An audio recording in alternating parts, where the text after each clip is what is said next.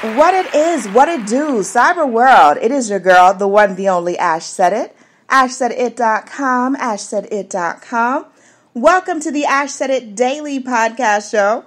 I appreciate you guys for all of your love and support. Over 1,400 episodes and half a million streams worldwide. None of this is possible without you guys. So I thank you so much. All the shares and the cares and the dares, they make a difference. All right. And so I'm able to do this stuff and I'm able to really chat and catch up with some amazing people, such as my my guest for today, Miss Founder and CEO of Aliesha Renea. I've got Aliesha. Hey Aliesha. Hi. How you doing today? I'm good. How are you? I'm doing good. And I hear that you holding down my city right now. You holding down the A town. well, um, my show is gonna be there. Okay. But I live in New York.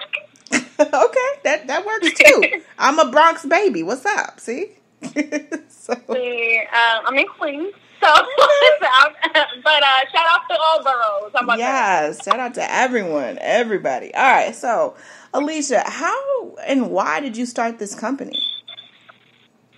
So, um, I started my brand in 2016 when I was in a shelter called Ali Forney. Mm-hmm. Um, it was an LGBT shelter, and um, it was like um, I was going through a lot of depression and like a lot of like suicidal thoughts, and a lot of people in the shelter was actually the same way.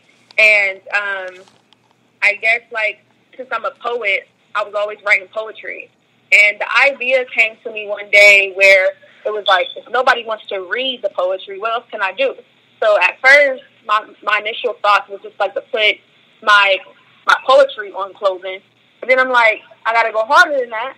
so yeah.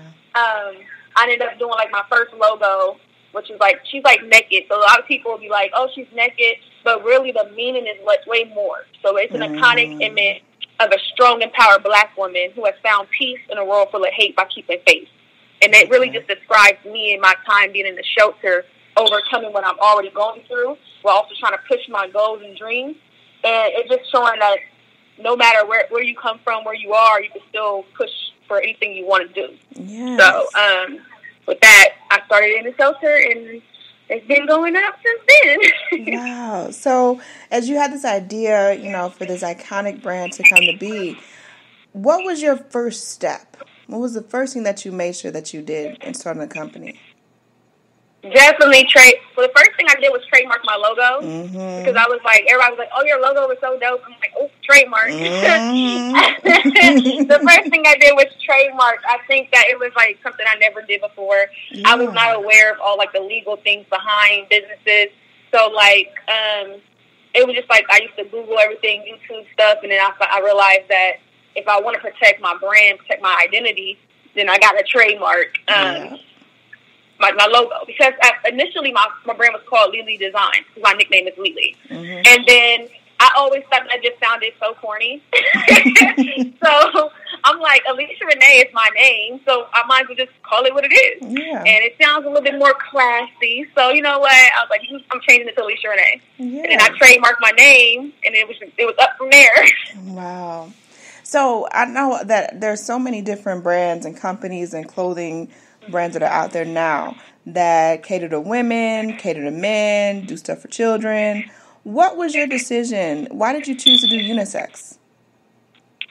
So, um, being in the LGBT shelter, um, mm-hmm. people we go by pronouns. You know, him, her, they, and I don't really feel like it was necessary to only, um, you know, do just women or men because mm-hmm. a lot of people like I noticed that a lot of people in the shelter that dress like women with like actually like men clothing. And right. just was always like we never knew. So it was like for me it was like I wanted to do both.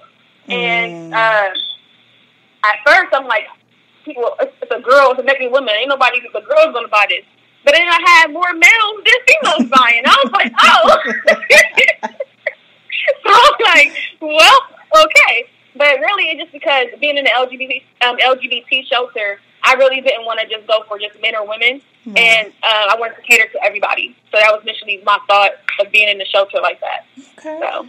Yeah, no, that definitely definitely is unique because you know it it definitely and, and I'm sure that you know it takes a little bit more work But hey, the mm-hmm. product speaks for itself. Speaks for itself. Yeah. Now, what um what was your moment of confirmation? Like that moment that you felt like, you know what, wow, this is making a difference. This is totally what I'm supposed to be doing. So I would say that moment came about in 2018. Um, because initially at first I was just doing my logo, my signature naked woman on everything. And, you know, I was still doing my poetry, and my writing on the side, but I never really released my poetry. Mm-hmm. And um, I always felt like I'm writing about with my life. I'm always writing about the issues in society with my poetry. Why don't I do something that's going to be like, you know what, this is awareness brand, not just Aliesha Renea brand, it's Aliesha Renea awareness brand. Mm-hmm. Because I all I feel passionate about the society in my life and everything that's going on in the world right now. I might go make stuff that's, you know, about me and my personal experiences. Right. So I ended up in 2018. Um, I ended up changing my mission. So now my mission is basically to bring awareness to the issues that we face in society through fashion, but I'm using my own personal life experiences. So I, been, I'm a domestic violence um, victim, so I talk about domestic violence. I've been through mental health issues. I had um, a lot of things happening with the police. Not, thank God, not physically, but I only talk about and only design things that I actually experience because it's more relatable. So I'm not the type of person that talks about like breast cancer or um, human trafficking because I never experienced it. Right. I can only talk about what I actually experienced. So mm-hmm. when I actually like released my first mental health image and my domestic violence image, everybody went crazy. They're like, "Oh my gosh, I feel the same way. I'm a domestic violence victim. I'm getting all these DMs," and I'm like, mm. "Oh, okay, mm-hmm. I like this." I didn't cry. I was crying. Aww. I'm like, "Wow, this is everybody's stories," and realize I'm not going through by myself. It made me be like, "Okay, this is it. This is what I want to do." Wow, so, that is that's one yeah. heck of a confirmation. I love it. I was like, that's.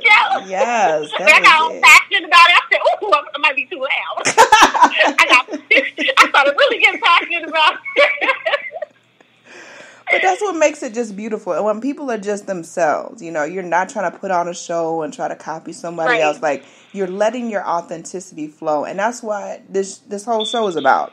It's like I love having people on the show and hearing their stories because everyone's story is different and everyone's story is inspirational. It's just we don't have time to listen to everybody's story. So if I can snip and pick a couple of y'all from you know Earth mm-hmm.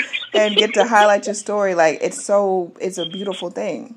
It really is. So, but Miss Aliesha Renea, you've got a show coming up in my city this month. Yes, in September. You got a show coming on.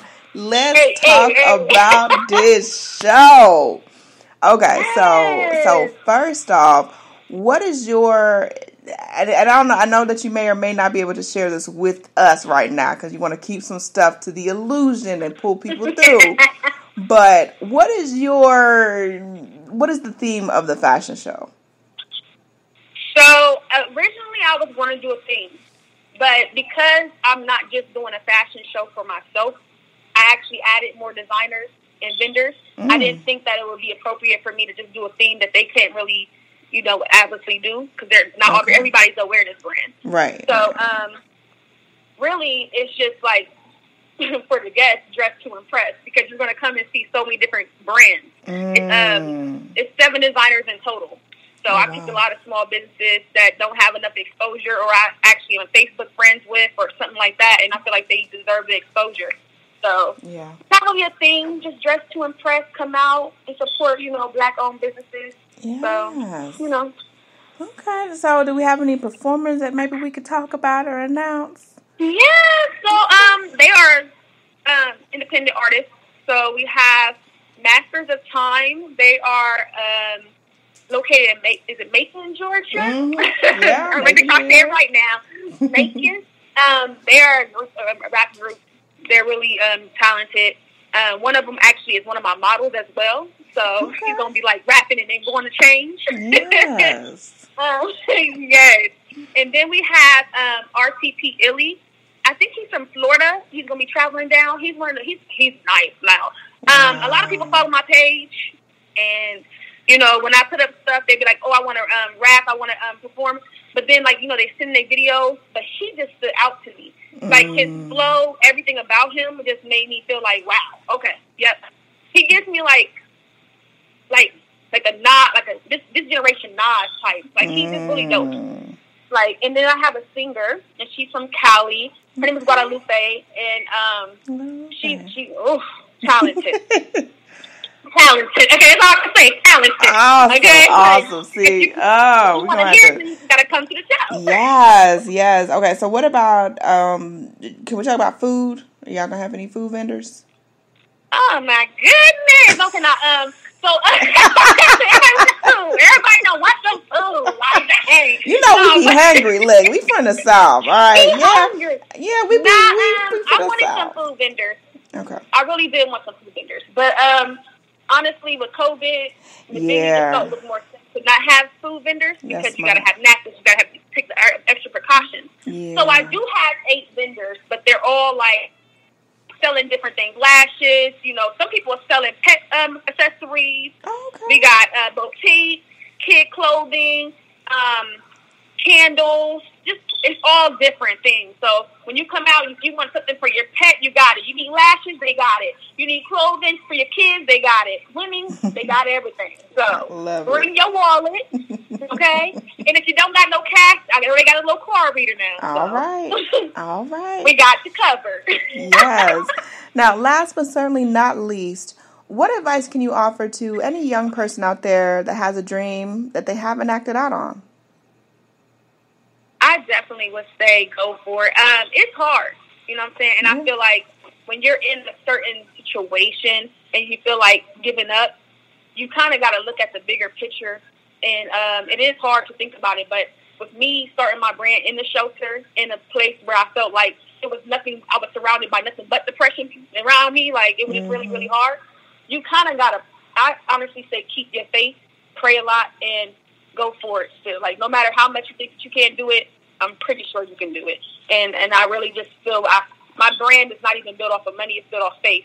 And at mm. this point, I don't know how I even got this far, but it's God. it's praying. Sometimes I'll be like, I don't know how I'm gonna afford this, and all of a sudden, I got it. Okay. It's prayer. Amen. So- Every day. If I can say anything, you keep your faith and you keep it pushing and keep your ideas coming, honey. Yes. Come through. You got it. You got it. Aliesha Renea, thank you so much, Mama, for joining us today. We appreciate you sending some good vibrations your way and stuff. I know that, you know, I told you that I am currently, you know, I'm not in GA right now, and I'm not 100% I in when I will be back. And um, yeah, it's just life is happening. We're just making it do what it do. But I send my love and I send my good vibrations to you and your whole team because I know that this show is going to be amazing. And um, yeah, just keep pushing forward. Let everyone know, of course, how to get their tickets and to follow you on social media. So everything is Aliesha Renea. It's A L I E S H A R E N E A. Everything is Aliesha Renea. The um, ticket link is actually in the bio on Instagram, Facebook, Twitter, Snapchat. Aliesha Renea. We, we're out here. So everything Aliesha Renea. Wonderful, wonderful. And I appreciate each and every one of you guys for all of your love and support. Keeping in mind, anyone to tell you that you can't do what you want to do, you look them square in the face, you tell them, don't believe me. Just watch. Watch what I do. Watch me make it happen. Watch me make history. That's what we're doing this for, the history books. Social media is nice, but real life is so much better. Until next time, you guys.